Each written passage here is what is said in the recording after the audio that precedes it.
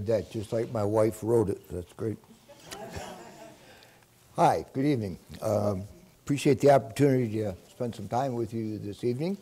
Um, it related to questions, if I it's, uh, do like I'm supposed to do and the timing goes like I've timed it, pardon me, we should have about 10 or about 15 or 20 minutes, about 15 minutes at the end for uh, for questions. So uh, hopefully that'll work out uh, well for us.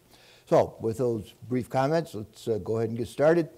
Um, what we're going to try to do tonight is uh, talk about uh, some of the things that we do, certainly not intentionally, and even sometimes unwittingly, that supports the process of addiction in an addict or alcoholic.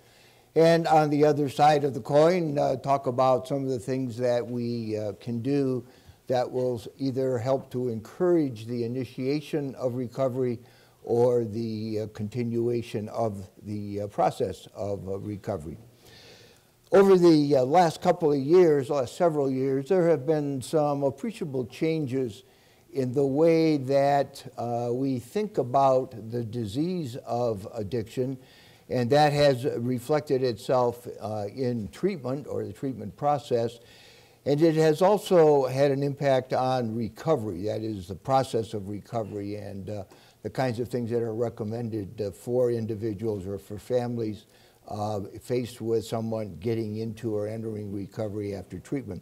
So we'll talk about uh, both the changes in thinking about the disease and its treatment, as well as the uh, as well as the uh, process of uh, of of, uh, of recovery, so that uh, we are all on the same page, as the saying goes. It's always good to make sure that we have the same definitions of the terms that we're going to be using. Addiction, for better or worse, has a variety of addictions. They all say much the same thing, but there are some nuances that are a bit different. So, for the uh, purpose of, purposes of this evening, we're going to talk about addiction as the uh, loss of control over drug use, or the and or the compulsive seeking and taking of a drug, regardless of the consequences, and it involves uh, multiple brain circuits. About 50% of the risk for developing addi- addiction is uh, genetic. And codependency is the harmful overinvolvement by someone with the addict and or alcoholic, which enab- enables the addict to resist treatment and harmfully affects the other person's quality of life. And that's the definition taken from the American Society of Addiction Medicine. So with those uh, introductory housekeeping chores out of the way, let's uh, move on to the uh, major topic for the evening. What uh, I hope to be able to do is move our thinking uh, from the what would be the left side of the screen for you over to the right side in the sense of how we think about addiction, and talk about addiction, and uh, how we behave uh, when we're confronted with uh, that uh, disease process. So we'll talk about uh, uh, the th- thinking or the perception or concept, the idea that the use that is entailed in, in addiction is one of choice. talk about enabling behaviors which are associated as well with how we respond to the behaviors of an individual with an addiction. And I've already mentioned about disease and uh, the disease itself and, and recovery.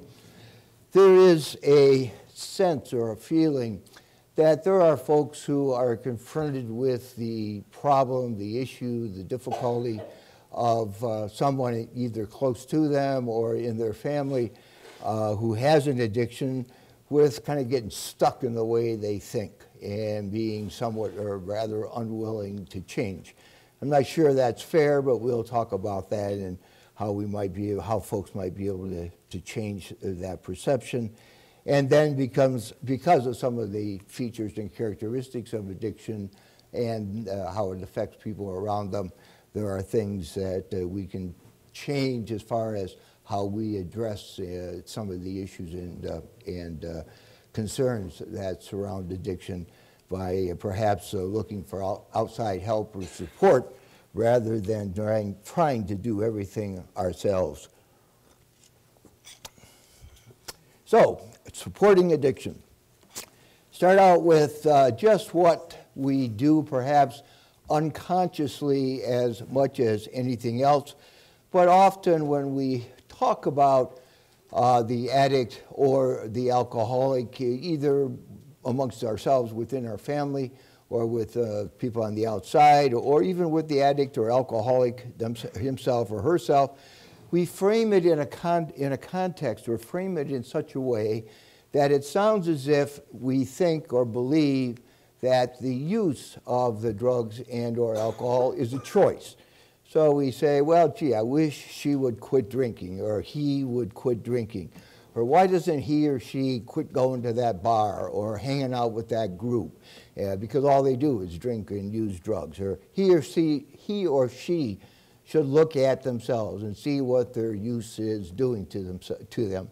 And the list can go on and on. But again, the important thing being we talk as if, or speak to the issue as if the individual has some degree or a significant degree of volitional control over their use of the drug. And pardon me, as we'll talk about a little later this evening, uh, that uh, is uh, really not the case. Another thing that we do is we respond to the addict's behavior, the really manifestations of the addiction itself, the kinds of things that the, uh, the individual uh, addict or alcoholic uh, does. As the uh, disease progresses and things uh, tend to get spiral out of control or at least in a, in a more disorganized uh, fashion, it ends up that we often find ourselves thinking or acting as if our entire world revolves around this addict, this alcoholic, and the things that he or she is doing or has done, or the situations they, uh, they find themselves uh, in.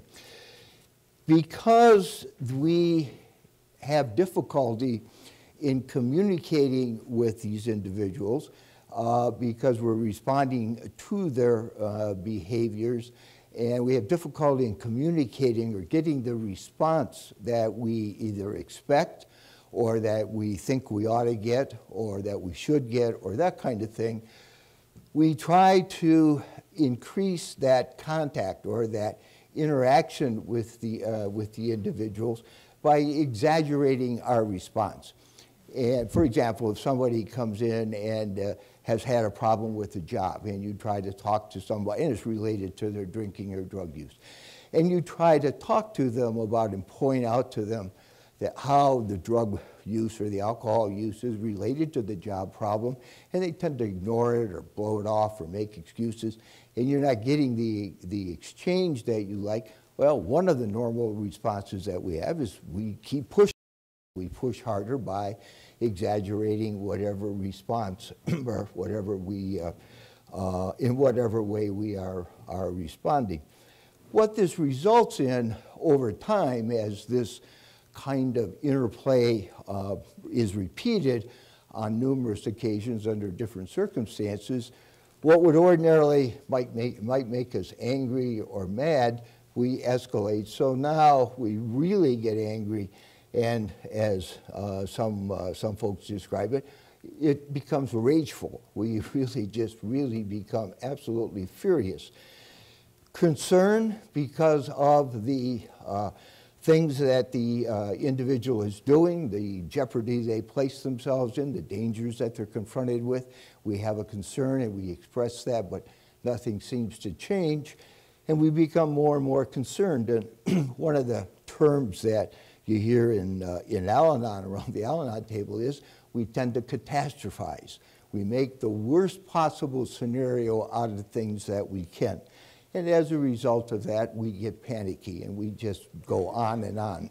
and again, accentuate uh, our response uh, to a particular circumstance. Frustration. again, things don't, uh, people don't respond in the way that we think they should or we would want them to or that kind of thing. And we get frustrated, and as we get more and more frustrated, we tend to uh, strike back. We retaliate in some way. We're going to get even, or we're going to say things that we're sorry for, or, or that kind of thing. If the uh, situation is one where we have some authority over the individual, perhaps as a parent or uh, uh some other uh, relationship where there is, is some authoritarian kind of setting, uh, that authority can be overused and we can be dominant, uh, we can become dictatorial and uh, that kind of thing. And then disagreement becomes hostility where there's really a standoff. You just have difficulty in getting along with the individual. Now that's not only true for, uh, for the particular circumstance uh, like driving drunk or having problems at work or getting in trouble but we'll have the same kind of responses when the individual responds back to us themselves. That is, however they respond to our response will elicit or can elicit the same kind of uh, accentuated or exaggerated uh, emotional response that I just, just described. In addition to the things that I, uh, that I mentioned, there are two other factors that are at play here.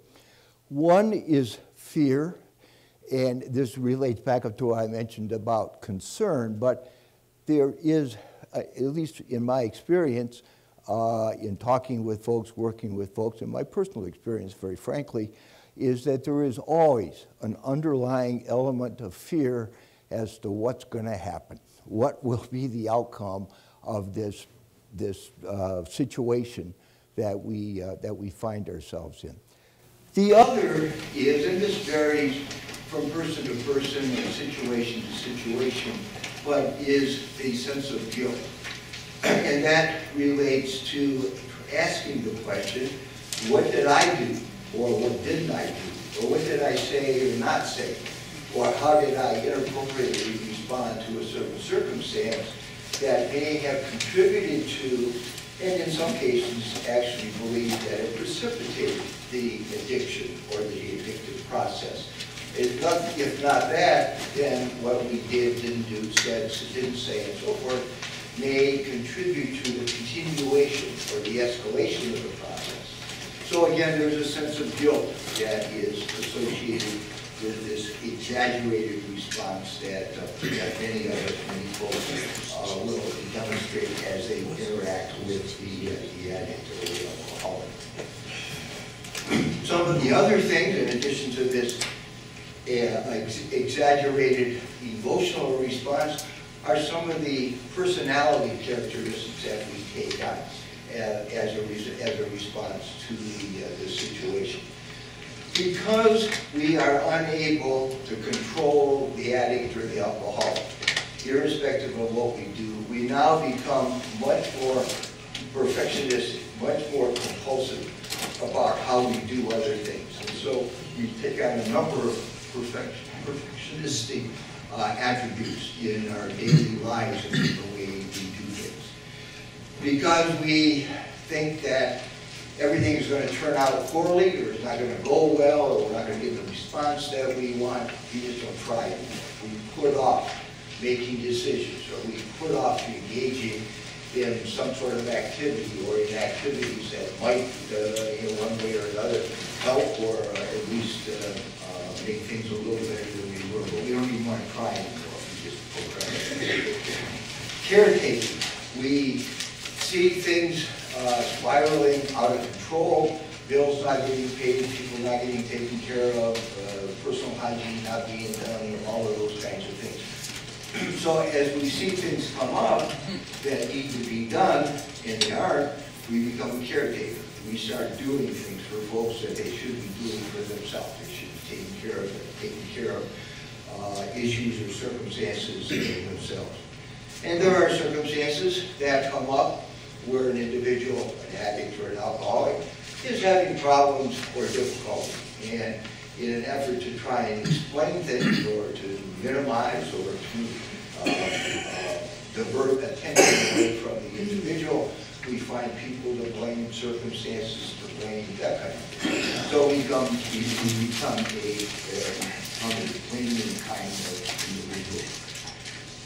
Another activity that we engage in that uh, contributes to at least the continuation, if not the escalation of the process, uh, is enabling. There are a number of definitions uh, for enabling.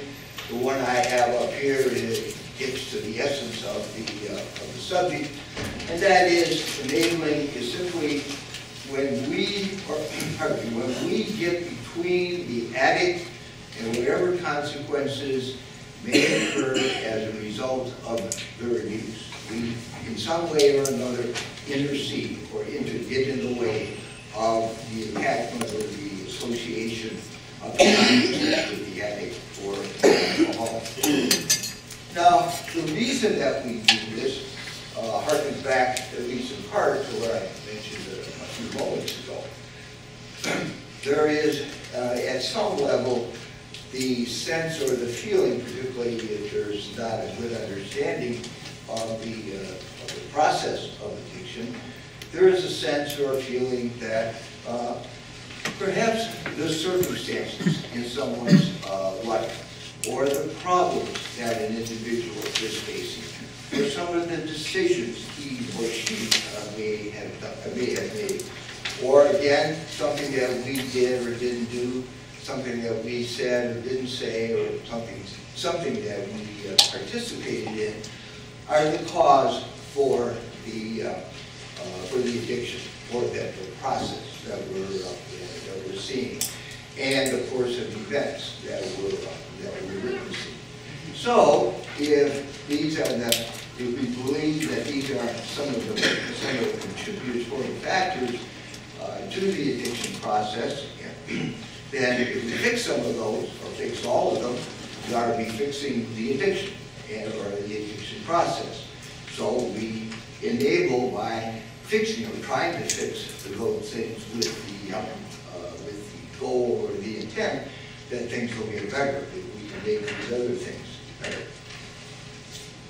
What happens when we do this, because they, because enabling doesn't accomplish what we hoped up with that it would do, is one, it delays um, an intervention uh, on, uh, uh, an intervention with the individual, the addict or the alcoholic.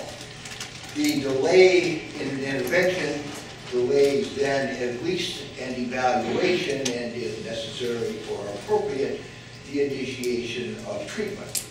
And with a delay in treatment, then the disease progresses, things get worse, uh, and the uh, consequences, the complications of the disease get worse. So by enabling uh, some of the behaviors and the things that the individual uh, is engaged in, we, uh, uh, we contribute to the progression of the, of the illness. You uh, have in your handout a one sheet, uh, am I an? It gives you a lot of examples what I have, just to give you a couple of examples, several examples of of enabling behavior uh, to illustrate the point. Rationalization. Uh, The first uh, example that I have is an actual case, an actual patient that I took care of a years ago. Young man uh, ran off the road in his truck and suffered some pretty significant uh, injuries as a result of his uh, injury. In taking the history from him and his family, when he was, when he was in the hospital. Uh, His story uh, was absolutely uh, the same from no matter who I talked to. He was working full-time, was going to school, had been up late two nights in a row studying for an exam, exams, and as a result of that, when he was driving, he fell asleep, ran off the road, and had a bad accident. The only uh, bad thing about the story was his blood alcohol was .17. And I think that that probably contributed to running off the road and uh, staying up late sleeping. Another example of rationalization was, or is, and is someone who drinks on the job and um, uh, uh, loses his or her job.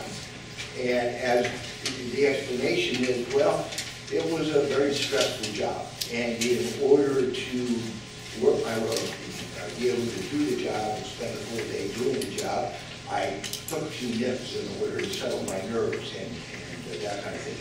So it wasn't really uh, directly related to the, uh, to the drinking, it was more the stress and the fact that I couldn't uh, accommodate. Minimization, that wasn't really a big deal. Accident, automobile accident, uh, modest amount of uh, property damage, not necessarily any, uh, any bodily injury or that kind of thing. So what are you worried about? Well, you're not worry about it. But at the same time, the individual is driving a BAC of 15. Minimize the consequences of the uh, individual driving drunk. And the uh, last one, covered for acts of omission or commission. Call in somebody sick because they're hungover from having uh, uh, gotten drunk the night before and are unable to go to work. Or they spent their paycheck in the bar or someplace else and are unable to pay the rent. So I be paying the rent. So we're covering for this individual. All of these are enabling behaviors that, again, are examples of getting between the individual, the addict, and the alcoholic, and the consequences of his or her uh, use. Now, the, pardon me, the, the old model of, uh, of addiction viewed it as a, as an acute medical illness. Think in terms of pneumonia, the flu, having an ulcer, or that kind of illness where you are sick for a certain period of time, you get treatment, things are better or get all better, and you are discharged from the hospital or physicians or somebody's care, and you go out, and go about your business, that's the way, that's what it is. That's the way that addiction has been viewed for many years by both the medical profession as well as uh, other folks that work in the field of uh, addiction. The, the, the result or the consequence or the outcome of that kind of thinking is that someone has a problem with an addiction, whatever the drug makes them. They go to treatment, they complete treatment satisfactorily, do all the things they're supposed to do. Then they are discharged from treatment with an aftercare plan. And the aftercare plan will include things like going to AA, being a sponsor, working the steps, doing all the things that most of us or many of us in the room are familiar with, in, in addition to perhaps medications and, uh, and that kind of thing. That aftercare plan is initiated at the time of discharge from the treatment. And it's at that point that recovery is considered to start. Now, part of that aftercare plan will include visits with perhaps a therapist they had in treatment a few times, perhaps an addictionist or a psychiatrist or someone else. But there are perhaps two or three, maybe four visits or so over a period of two or three months. Um, and then the individual is discharged from care. And that is, this is the way it would work in times past. With instructions that keep on AA, keep working with your sponsor, don't drink, don't use drugs, that kind of thing. But the individual is left on the roll. much the same as somebody with an ulcer. You go, you get treated, and that kind of thing, given your medication, they you take this, and do this, and this. If you have any problems, come back and see me. And very frequently, quite often, that was the way that addiction treat, uh, that was the way addic- addicts and alcoholics were treated in, uh, in years past. And this was because the disease of addiction was, uh, was misunderstood. So, this also flowed over into our uh, perception of and how we address recovery uh, uh, uh, up until several years ago. Recovery has had no official definition, kind of depends on the institution and the uh, individual or individuals that are doing the defining. The one I have up there, recovery is easy. To stop using and change the way you do all the things in your life. Now, that's the definition that a recovery surgeon told me one time when I was talking with him. And, and with, with kind of that as a background, with the idea, the background of uh, the way we perceived the disease of addiction as an acute illness, the usual understanding uh, was the addict or alcoholic was the sick individual. He, he or she goes to treatment. They need to get treated and do whatever needs to be done. And it's he or she that has to change. I, as a family member, or someone that's closely associated with this individual, I'm not sick. So I would have limited involvement uh, in the recovery. Now, granted, over the years, certainly at the time of discharge from treatment, family members were encouraged to go to Al-Anon or Nar-Anon or Families Anonymous and involve themselves in some self-help or support groups and, uh, and that kind of thing. But there was really no uh, follow-up of that, and there was no real, if you will, push to do that. These, these were things that were encouraged, yeah, help, you know, make things a little better. You got to do those kind of things, the kind of message that you got. So the expectation was, as you looked at this, you got treated, you got into, the addict or the alcoholic, got better. They had their discharge uh, orders or their aftercare plan, go to meetings, work the program, and you go back and go to work and, and things are back to normal. Now, one of the, one of the difficulties with that, and I suspect most everyone in the room is familiar with this in one way or another, one of the things that we struggled with over the years is a very high relapse rate in people that go uh, to treatment, and the model that I uh, rather briefly and, uh, and uh, roughly outlined for you has led to uh, not a lot of people, there are some obviously, but there are certainly a lot of people that, uh, that relapse. So the feeling has been, the, the, the the response has been, well, look, treatment doesn't work. Because so-and-so went to treatment, they should have gotten better because they got treated, they came out of the hospital, and then they, they relapsed. So obviously, treatment doesn't work. Well, as I mentioned earlier, uh, the thinking about this has changed, and we'll talk uh, in some detail about that in a few minutes when we get to the uh, right side of the, uh, of the slide. Take care of our, uh, picture of things ourselves. And again, this gets back to what I've mentioned a couple times already.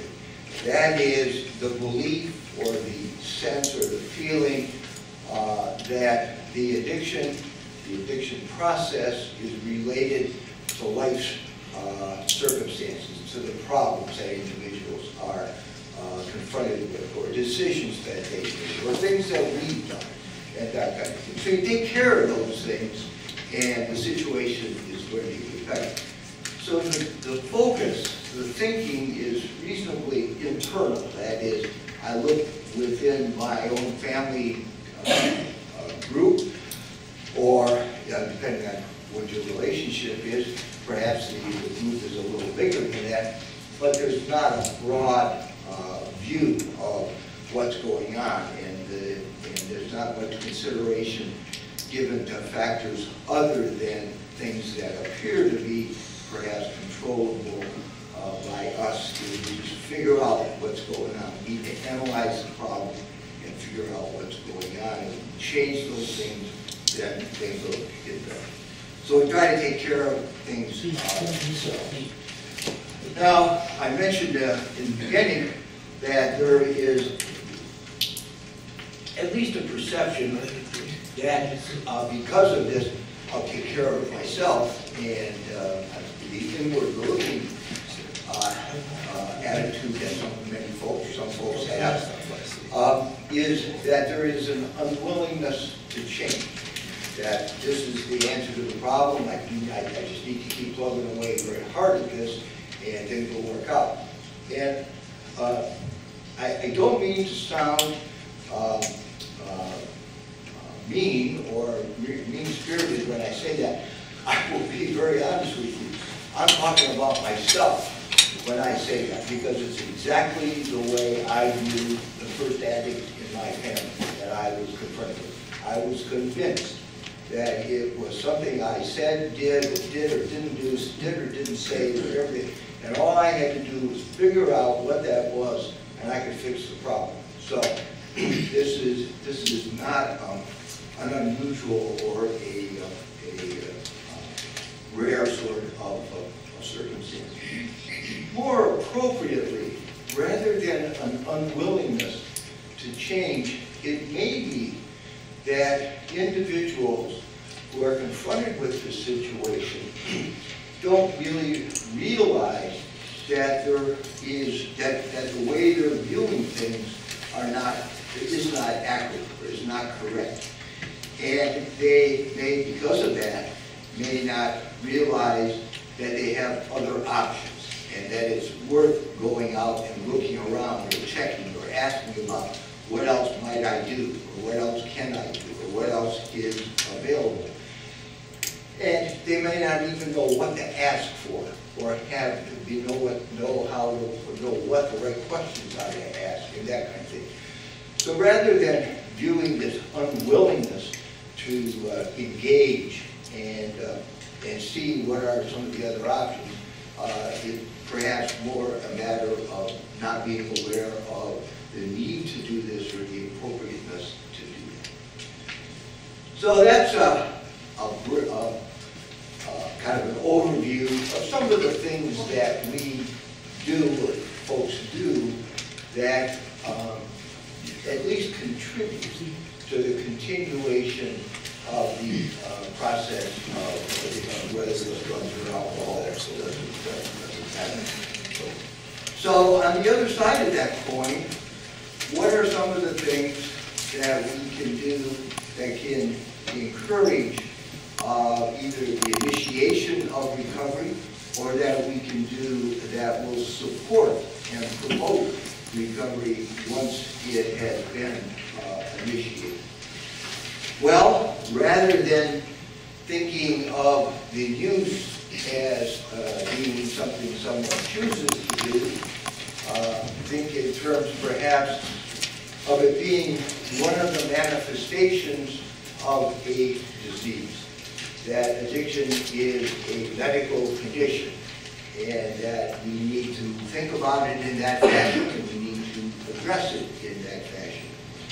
So if addiction is to be considered as a disease, uh, once again, going back to uh, my earlier comments, we need to all agree on what is a disease. That is, what is the definition of a disease. The definition that I have up on the uh, screen is actually a combination. Uh, It's a combination of the definition you will find in a standard collegiate dictionary, know which one to look at, combined with the terms or the definition uh, elements that you'll find in a medical dictionary. You won't find all of this in any single dictionary, I can promise you that, because what I've done is looked at several different sources and combined them all, so I can talk about them all at, um, at one time. So the definition of a disease that we're gonna use to see whether or not addiction fits is a state of ill health. It's associated with a definable set of signs or symptoms. Signs are things that you can see associated with the disease. like a tremor or somebody shuffling walk or that kind of thing. Symptoms are things that patients complain about, headache, diarrhea, uh, nausea, that kind of thing. Has a predictable course and outcome. If you're told you have diabetes and you ask the physician, well, doc, tell me what's going to happen, he or she can talk to you about kidney problems, vision problems, heart problems, nerve problems, and so forth. May not be able to tell you exactly when, or the sequence, or that kind of thing, but they can tell you pretty good, give you a pretty good idea of how things are going to go if you uh, don't take care of your diabetes. You may or may not know the causes or what predisposes someone to developing the disease. And a disease will involve the abnormal function of at least one and sometimes more than one organ. So the question is, of those four things, how many of them fit addiction? Well, signs and symptoms, the five Cs. We have craving, compulsion, continued use in spite of negative consequences, loss of control, and chronicity. Those are the symptoms that you look for when you are working with a patient to try and make the diagnosis. Craving is also referred to by some folks as obsession, which means that if you talk to an addict or an alcoholic and ask them how, well, you know, what, how, what do you think about know, I mean, how often do you think about stuff? So they tell, talking about, listen, doc, when I get up in the morning, I start thinking about what am I going to use, where am I going to use, who am I going to use with, how am I going to pay for it, am I going to get over the effects of having used so that I can go to work tomorrow? And that is something that I continually think about all day, uh, in spite of whatever else I might be doing. You are obsessed with the idea of your drug use and everything that goes with it. Much like the young lady uh, sitting there is obsessed with shoes and chocolate. It simply rolls through her mind endlessly, and this is what we call craving or obsession. Compulsion is that overwhelming need, desire, urge to use. In spite of your best intentions, knowing that it will be harmful, you will go ahead and do it anyways. Much as the lady knows she should not go into the candy shop, but she is boundly determined that she's going to go in unless she, unless she doesn't let go of that parking meter. If you want to get this history from an addict or an alcoholic, uh, and, and, and see whether or not this might fit, you can ask the question, have you ever risked your life or have you ever risked your health in order to obtain or use the drug or drugs of your choice? I have done that innumerable times in audiences of people in treatment programs. I have never had less than fifty percent raise their hand yes, and more frequently it's seventy-five to eighty percent. That is compulsion. That is overwhelming need, desire, urge to use. Loss of control. Once I start, I can't stop. Example of that is uh, Friday afternoon, do this with somebody, uh, with an audience of uh, people in treatment to make the point, to illustrate the point. Friday afternoon, you're on your way home from work, and you're gonna have a party this weekend, so you stop by your dealer's uh, uh, place of business, and you buy three grams of cocaine. The plan is to use one gram Friday night, one gram Saturday night, one gram Sunday night. And then you ask the question, is that plan gonna work? And when the laughter goes away, goes, oh, it's not gonna work, because it'll all be gone Friday night. Because I'm not gonna stop once I start. So that's loss of control. How many drunk drivings, how many job losses, how many divorces, how many bankruptcies, how many family fights and so forth and so on does it take in order for you to consider the relationship between drinking and drug use and these negative consequences? And chronicity simply uh, indicates that these four uh, symptoms or signs that I mentioned repeat themselves not just once or twice, but it's a regular pattern. There's a chronicity, a chronic nature uh. So chronicity is uh, another. Predictable coursing outcome. I know you can't see very much of that on the slide probably, but it is in your handout. Back in the 1930s, Dr. Jellinek put together a chart, a V-shaped chart on your left called the Jellinek curve. And the left side of the curve is the downward spiral of the alcoholic as he or she continues their drinking career. They hit the bottom of the V, and then if they get into recovery, they will gradually climb up the right side of the uh, V. So there is a course of events, a course of, uh, of of occurrences that can be described to someone that they have the diagnosis of an addiction A. Um, uh, Although it's not as old, there is likewise a similar kind of curve that has been put together for drug addiction as well the cause or predisposition, predisposition of addiction or of disease, you know, I'm sorry. Uh, in the case of addiction, uh, we know that genetics contribute significantly to the occurrence. This is evidenced by studies with twins. If one of a pair of identical twins is an alcoholic or an addict, there is an extraordinarily high likelihood that the other twin in that pair will become an addict or an alcoholic. By far away greater than we would expect with chance uh, alone. That relationship does not occur in fraternal twins, which have entirely different, uh, entirely different genetic makeup.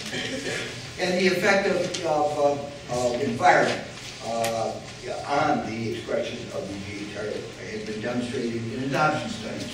You take a group of individuals at a very young age who have the genetic background that makes it likely they will develop uh, an addiction. Uh, and they, if this is not done intentionally, this is a retrospective kind of uh, study. But look at, if these individuals are adopted out rather randomly into both non-alcoholic and alcoholic families, and then go back and look at these, uh, these youngsters uh, 15 or 20 years later, those individuals that have a genetic background that would indicate a predisposition to developing alcohol will by a factor of sometimes four times, four, uh, a multiple of four, have a greater incidence of alcoholism, irrespective of whether they were adopted into an alcoholic family or a non-alcoholic family. Again, uh, illustrating the genetic influence. We know that stress, as well as the availability of drugs and socioeconomic factors, contribute to uh, the development of uh, addiction. Uh, Just a simple example as far as drug availability is concerned. If you look at the state of Utah and the state of uh, Nevada and the incidence of liver disease, particularly alcoholic liver disease, and compare the two states, Utah is a Mormon state, 80% Mormon. Mormons don't drink. Utah has the lowest incidence of, um, of alcohol-related liver disease in the country.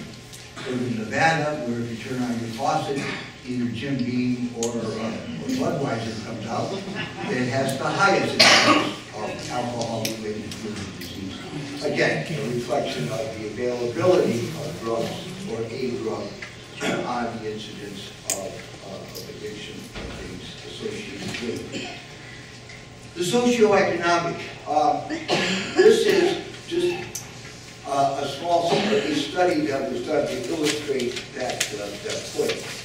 This was a study that involved six chimpanzees. Now, the chimpanzees were raised uh, in individual cages. They all lived alone. And prior to the study, all of them had a brain scan done, and that is pictures of the brain scan on your left. They are both normal. All six of them were actually normal. These are simply representative. Then the six chimpanzees were all put together in a great big cage, and they were they lived together for six months. What happened is exactly what happens with people when you put a bunch of them together. They sort themselves out. One of the chimps became the alpha male and literally ruled the roost. I've seen videos of this. Sat up in the corner of the cage and made everybody do whatever he wanted them to do. Eat, sleep, drink, didn't make any difference. He made sure they did it the way he wanted them to. He the roost. There were a couple of chimps, though, that were very passive. they hunkered down in the corner of the cage and just sat there and kind of looked like, saying, hope this gets over with pretty quick, it's not fun. And they did that for the six months. At the end of the six months, they repeated the brain scans, and those are the ones that you see on your right. The one on the top obviously has a couple of great big headlights. That's the alpha male. The, his scan before they lived together is the one on your left, right across from it. Significant difference. It's a bit more difficult to see, but the bottom, the the one on the right at the bottom, is one of the passive chimpanzees. And that chimp lost whatever orange he, or or she, I'm sorry, she had uh, on the pre-living together scan. So there was an appreciable difference, but in the opposite direction of that brain scan. Now, the thing that's significant about this is these anatomical changes that the scan shows are the area of the brain where drugs have their effect. So the question that obviously came up is, since there are these striking differences in the two uh, scans, is there any difference in the way these animals will respond and react to exposure to drugs? So the animals were hooked up to an IV that allowed them to self-inject uh, cocaine solution. And so they could push a lever as much cocaine as they wanted. Uh, It was controlled to the extent that they were not allowed to overdose and die. But it was done for a period of time. Then the amount of cocaine was measured. And the graph that you see on your right illustrates the outcome. The orange is the passive female, and they used appreciably more cocaine than did the dominant or alpha male, which is the green line. Again, suggesting, indicating that the anatomical changes that resulted from the living environment they they, they were in resulted in a difference in the way they tolerated use or, or, or uh, self-injected uh, medications. And this is, this similar kinds of studies have been done again to demonstrate the influence or the impact of socioeconomic factors, particularly social factors on, uh, on growth. And lastly, a disease involves the abnormal function of one or more organs. This is a picture of the brain taken from the side as if your head had been cut right through the middle of your nose, so you're looking at the side this way. The uh, part that we're interested in is right here. This is the reward pathway, which is the area of the brain that corresponds to that bright area in that one chimpanzee. And it is the area in human beings also where drugs have their uh, effect. And this area is connected to all the rest of the brain, and the rest of the brain is connected uh, to that. But this is the area that we're most uh, interested in uh, this evening. So, if there is an abnormal function of one or more organs, and if the brain is the site of the abnormality, then this is the area where we would expect to see the abnormality express itself. So the question is, do people with addiction have low dopamine levels? Dopamine is a chemical in the brain that uh, mediates or uh, provides the uh, way that drugs have their influence, gives you the effect that people are looking for when they use the drug. So do they have low dopamine levels because they burned out their pleasure center? Or do people develop an addiction because they have a deficiency that is inherently a deficiency? They have a decrease that they're that a decrease in dopamine. The Slides on your left, and again, I apologize, but this is the way the, the, the were demonstrated in the article.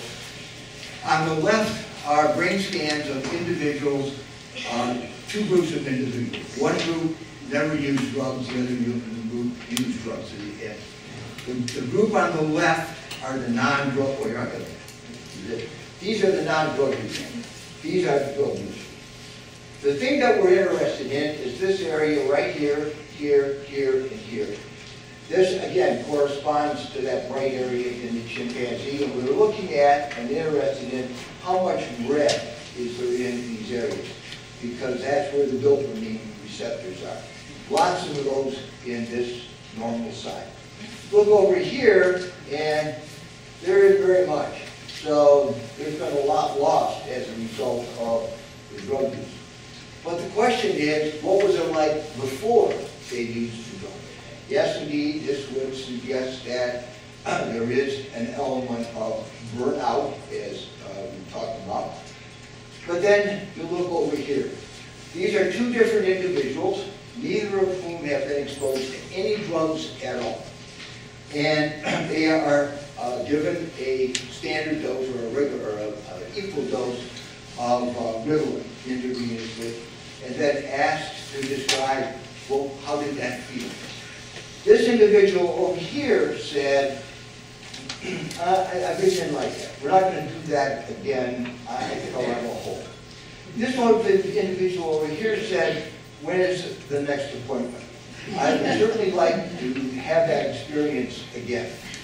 So two distinctly different responses to the same dose of drug. Now, the important point here is, notice again the difference in the red, but there's no explanation for this other than that's the way they were wired. So the evidence here, and there are yet a number of studies that indicate, indeed, addiction is a disease that involves uh, the brain, and there is an abnorm- abnormality in the way the brain is put together, if you will, that changes the way that a, that an individual responds to, uh, to war. So the conclusion is, addiction is an abnormal response to reward, and the reward in this case is the drug or drugs that an individual uses or takes. Okay, so I think that's all four of the criteria, all four of the uh, elements of the disease that were in the definition. So at least from a medical standpoint, the uh, process of addiction meets uh, our definition of, uh, of disease. Moving then to detachment, which is the counterpoint of uh, enabling. And a definition, and again, like with enabling, there are a number of different definitions. Detachment is the emotional separation from the adverse or damage, damaging effects of, uh, of addiction. Understanding and being able to incorporate detachment into our relationship with the addict or the alcoholic is very important in uh, certainly supporting uh, recovery, but also in starting to get the process of entry into treatment and then into recovery uh, started uh, as, uh, as well. The important thing here is, uh, is to make sure that we keep clear in our mind what the detachment is from. Um, the, the, the, again, in the definition where it says emotional separation from the adverse damaging, adverse and damaging effects of the addiction, what that means is we separate ourselves emotionally from those behaviors that we talked about earlier, that exaggerated emotional response that we expressed when things weren't going the way we thought they ought to, or the way we thought that they should, or, or that It's our emotional response uh, to the uh, expression or the manifestation of the uh, disease. Um, detachment means that we, when things come up that aren't going well or haven't gone well, we don't preach, uh, we don't scream and holler and lecture and try to reason things out with the individual. We simply walk away from the situation because there really isn't a great deal that we can do. Again, we detach from that emotional engagement. We don't try to manage what's going on. We enable. That is, we don't try to make things better, or patch things up, or, or get between consequences and uh, the individual. And that's part of detachment. We uh, also don't make rules that uh, we can't or won't support. So don't make idle threats. Uh, Just simply, when you make a decision or you implement something, you stick by your guns. You do, you do exactly as, uh, as you have, uh, have said. Um, What it does not mean is that we do nothing. It is not simply backing away and divorcing ourselves from the individual. That's where I say that it's important that we recognize and are very, uh, very aware of what it is we are detaching from. We don't ignore the addict. We stay in whatever is the appropriate fashion engaged with that uh, individual. We don't stop whatever are beneficial efforts to try and help the individual. Not the enabling, not the other things that we talked about. But whatever, whatever happens to occur or be appropriate, and if it's a positive and it doesn't meet the cat, meet the definitions that we talked about of enabling and that kind of, fact, we do those things.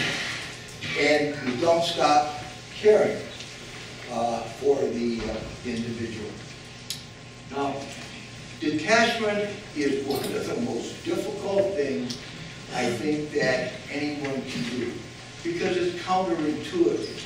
Most all of us, particularly if it's a family member that is affected, affected by uh, an addiction, our, our response, our, our, our goal is to be helpful, supportive, try, we don't like to see people be uncomfortable or be, be uh, inconvenienced or even worse. And so intuitively, kind of reflexly, we want to reach out and help. And detachment puts some dampers on that, makes it so we have to step back and think about what we're going to do, how we're going to do it, when we're going to do it, and that kind of thing. But by disengaging emotionally, we conserve and preserve a great deal of emotional energy a great deal of emotional capital, a great deal of just uh, plain old energy without being emotional.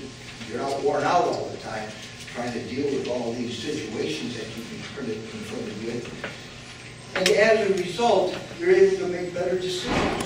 You can step back and evaluate the situation, look at the pros and cons, and make, a, and make the decision based on some, some rational thinking and some weighing of, of uh, factors uh, that, that are important in, in, in, the decision you're going to uh, make. The only way that I know that you can accomplish this is to practice. And I will relate to you exactly the way that it happened with me.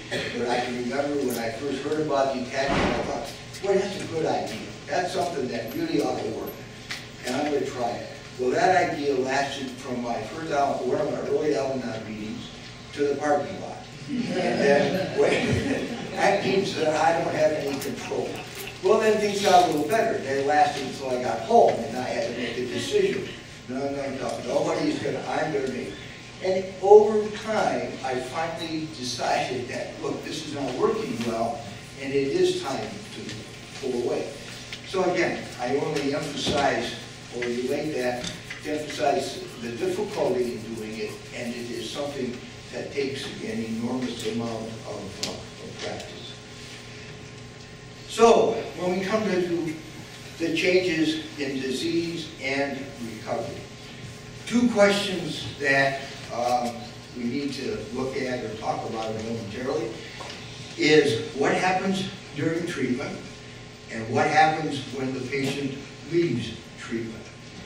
And when you go to treatment, there are lots of things that go on. Now, this is not any different than it has been over the years, so this is not one of the changes, pardon me, not one of the changes that has occurred in our perception or our conception of what uh, addiction is. You detox, there's an evaluation, diagnosis, and treatment of any associated medical or psychiatric illnesses that are with the uh, addiction. There's an extensive uh, education process uh, teaching people about addiction as a disease more extensively than we talked about tonight. Uh, Talked about, they talk about relapse prevention, uh, problem solving skills are worked on, uh, healthy living strategies, and AA and NA is explained, discussed, and what it, you know, how it works and, uh, and those kinds of things. In addition, there is a process of discovery so that the individual learns about the severity of the disease. They learn whereabouts on that Jellinek curve do they rest as far as their disease process. What are other associated problems that are, that are occurring with their addiction? What's the effect then on their family or their immediate uh, circle of friends and acquaintances? And they learn about and attend AA and NA meetings. This is what takes place to some extent or another in uh, any treatment program. When treatment is over, that is primary treatment is over, that's when recovery starts. Recovery does, is the day one of recovery is the day you get discharged from uh, primary treatment.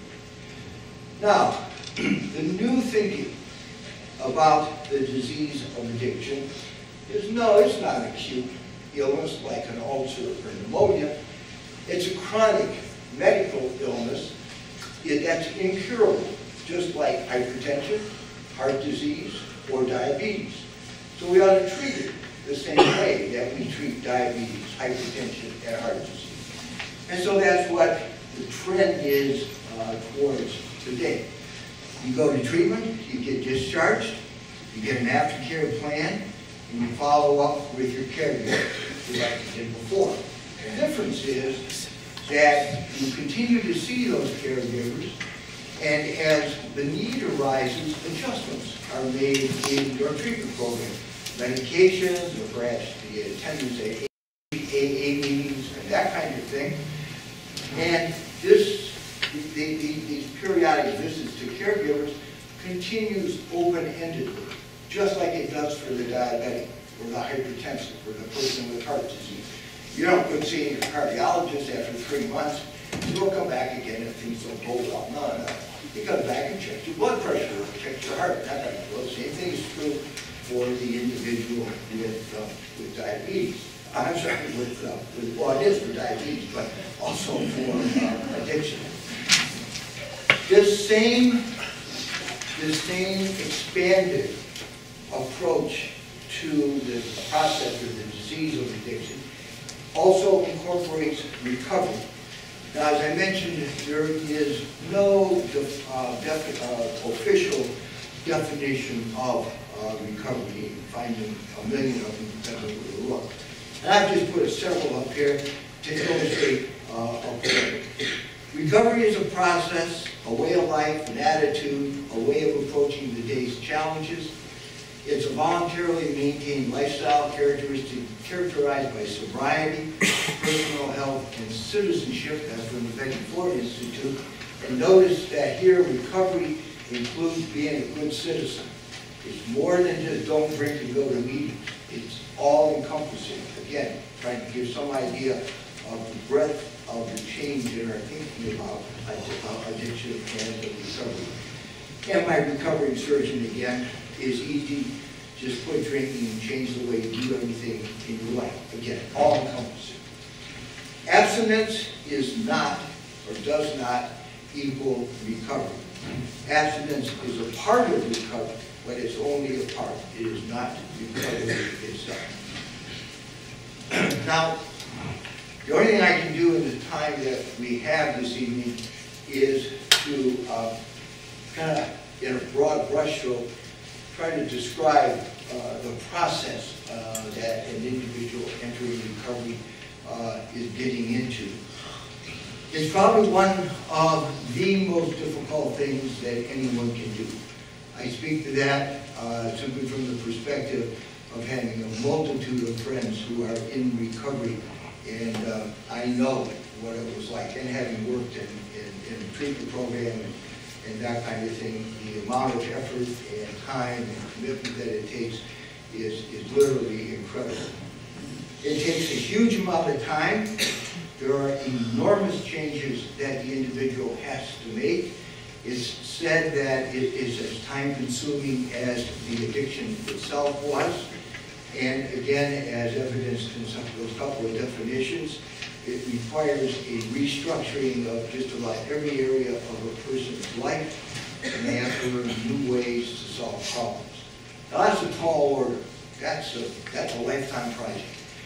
But add to that the situation that the individual in early recovery finds himself or herself.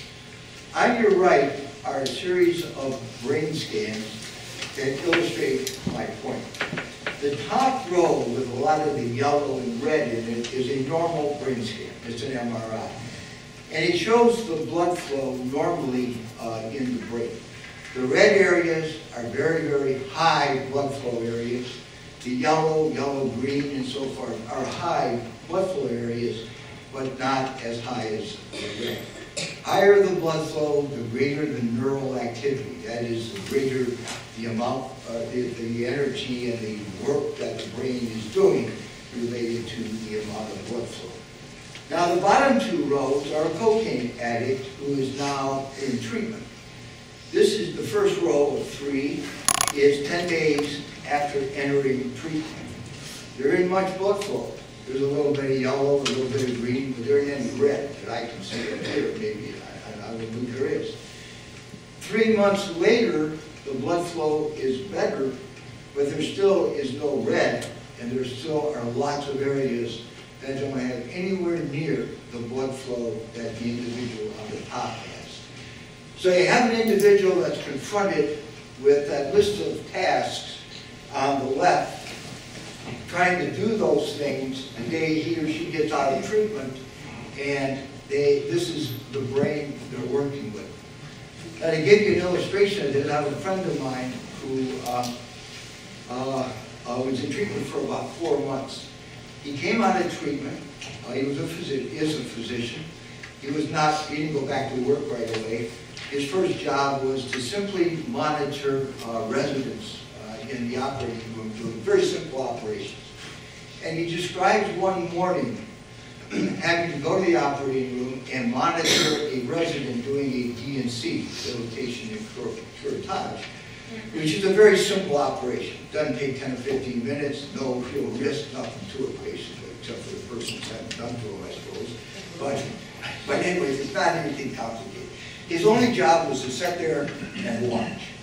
Then after that, he had to walk over to the lab and provide a urine sample for a drug screen.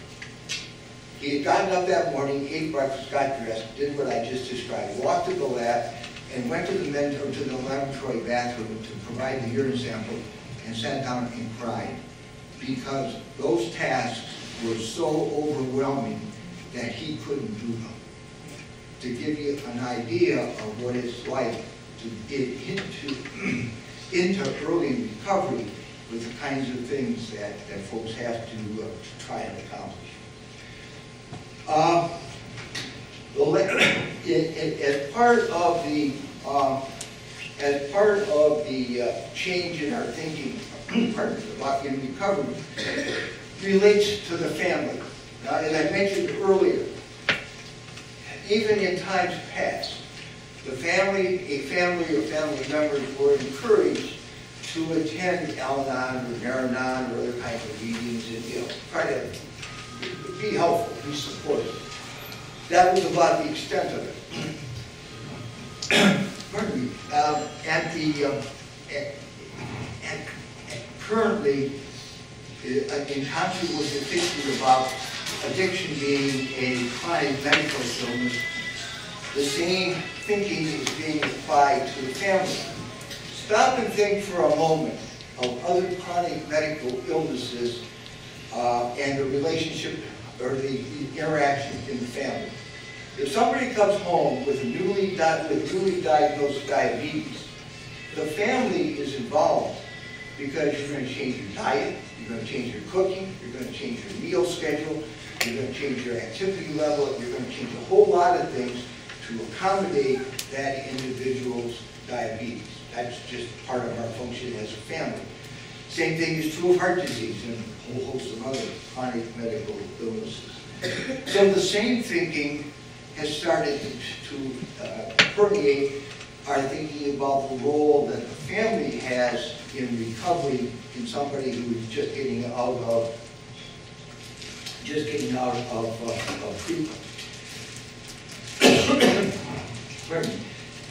The, the, as I say on the slide, uh, um, recovery is no longer a spectator sport for the family. The movement is active involvement in the recovery process for family members. Now this, in addition to what I just described medically, there's also another backdrop to that. For many, many years, there have been extraordinarily successful monitoring programs for airline pilots, uh, lawyers and judges, physicians, law enforcement uh, agents, and uh, in the military. These are monitoring programs where there are systems of accountability and systems of responsibility set up that the individual in recovery has to abide by. And these programs have, again, an outstanding record as far as recovery is concerned. 70, 80, 90% in these kinds of programs versus what we read and hear about in the general population that don't have that kind of structure. So the goal today is to create, as best can be created, that same kind of structure, but using the family to do it. And so many treatment programs, Brighton Hospital, for example, is in the process of initiating this kind of uh, program.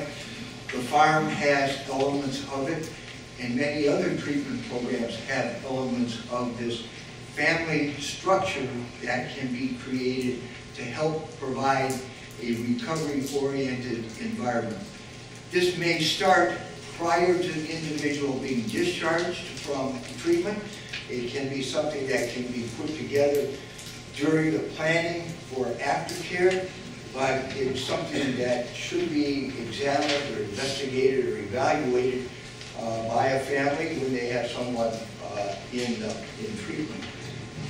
There may be a need for the use of a mentor or a facilitator or a coach or somebody like that to help organize the family and to get them uh, focused and moving in the right direction. Uh, again, in order to create the appropriate recovery-oriented, recovery-based kind of uh, environment that, we want to uh, want to have for the individual uh, coming home. So that's a lot of the new thinking as far as disease treatment and, uh, and recovery. Asking for help and accepting help, there are a multitude of resources that are, are available uh, to folks to help them uh, be able to support recovery. I've listed a very few up here. Uh, education, uh, there are lots of books out there about addiction and codependency attending open AA meetings, videos, uh, going to lectures, like this and uh, the other ones, the other ones that are available. The use of individual and family therapy, trying to associate with therapists that are familiar with addiction, uh, recovery, and codependency. Uh, significant and active involvement in 12-step self-help groups like Al-Anon, Alateen, Nar-Anon, Families Anonymous, and that kind of thing. And learning something about intervention uh, as at least a tool that might be available that could be utilized to get someone into treatment and then subsequently into, uh. And it's important to remember as we look about all of this and think about it that remembering that Addicts and alcoholics are not bad people trying to be good, but sick people trying to get well. And the last slide is simply a limited resource. I'll leave that up. I'll leave this up uh, if anybody's interested in copying anything off. I will tell you that my the, the, the two of them, the National Institutes, uh, so forth, are very good federal websites that you get a lot of information from. I have put up uh, www.lovefirstnet and WJ's book, A Case of Family, and uh, the uh, Jeff- Deborah Jeff Jay's uh, presentation here at the Dawn Farm Series on uh, the power of the family and the family-oriented uh, recovery. I put those up simply because I know the programs and I'm familiar with them, and I, I- feel comfortable in saying that uh, they are well worth taking a look at and seeing whether or not they fit any of, the- any of your needs. With those comments, I didn't do too bad, I'm three minutes over, but uh, we, I open the questions if you are. Thank you. The Question was, have there been any brain scans done on? The right?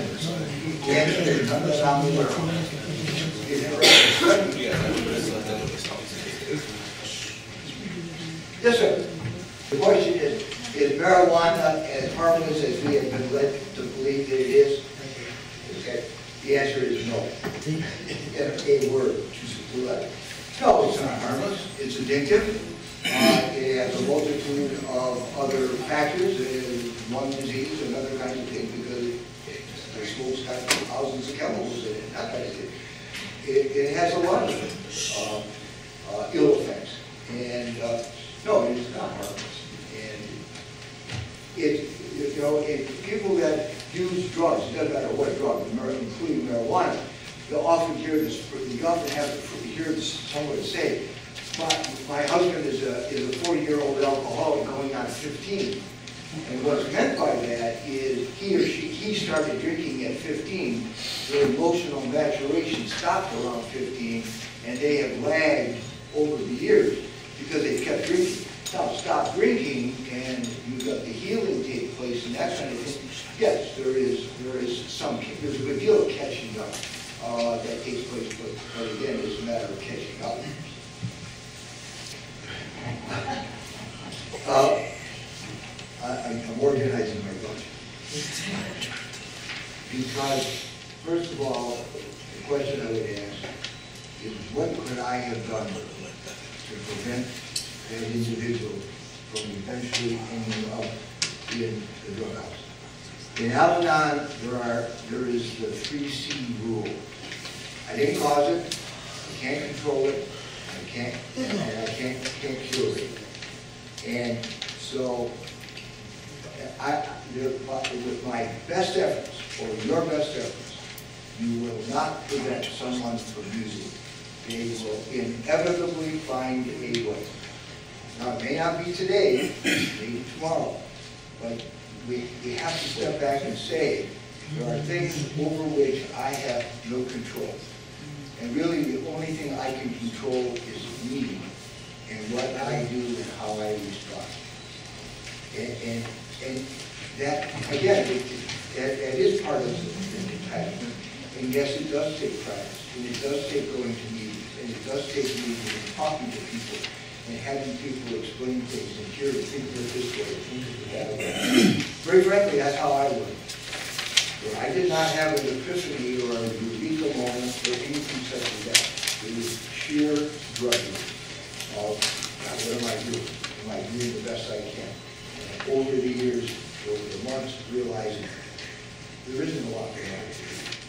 I am, I am powerless as a person.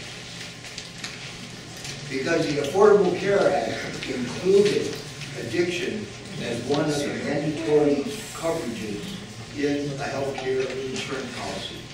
And in that addiction section, follow-up care was required to be covered. And, and I have gone to meetings where people say, look, you can charge for things that you had to give away. I have no idea where that is with all the vaccinations and everything else that's gone on with the More Affordable Care Act. The answer, the answer to your question is at least at one time, in, in the ACA, there was coverage for was amended. The answer to that is, there is, uh, there is no risk uh, of, of, you know, at, at this point, you do. What I would suggest is that you talk to someone who is, that does interventions, knows about them, and, and explain the circumstances that you were confronted with, and go over the circumstances with that individual, and they can help you make that decision or decide when you need to reevaluate the situation and then make a decision. He's he's asking if there's any correlation between drug use and young kids who might be more passive, is that right? Yes. Um, that- that- uh, I would have to, I don't mean to do it right now, we'd have to describe, we have to talk a little bit about what we mean- by passive. Be- Because uh, I have a friend of mine, the slide that I showed you about the dopamine de- depletion and that kind of thing in in individuals that are predisposed to developing addiction. Well, he has a picture of a fourth grade class, and there's about 12 or 14 kids, and, and, and of the, of the 12 or 14 kids, 13 of them are jumping and got a smile on their face, and there's one kid that's sitting there with the most solemn look on their face that you could imagine, and the caption that he's put under the slide, which one has a low dopamine level? And it's the kid with the flat face. Because dopamine gives us what we call our hedonic tone, makes us happy and, and smile and, and feel outgoing and that kind of thing. The point being that sometimes there are some characteristics or features that might give you a clue. And I don't want to overemphasize that by any means, but, but, but again, there are perhaps some suggestions that some kids may be at more risk than others. Uh, I'll be honest, I'll be honest with you, I had a phone conference call with a fellow today, that's working on it. It's in the process of being developed. The details are not uh, out. for looking. working with Blue Cross Blue Shield to try to get insurance coverage for it. And the idea is that hopefully in a couple of months, at least a part of it, not most of it, will be up and running and available for patients in the district. Okay, thank you.